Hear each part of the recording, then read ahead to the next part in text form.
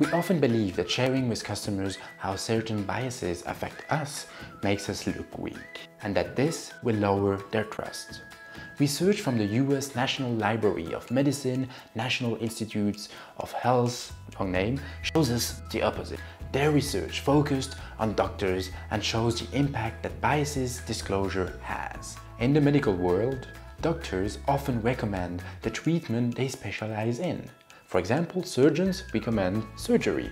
The research looked at what happens when the doctor said that he had a specialty bias. What happened is that more patients choose the recommended treatment. Even more patients follow the recommendation with a little more transparency.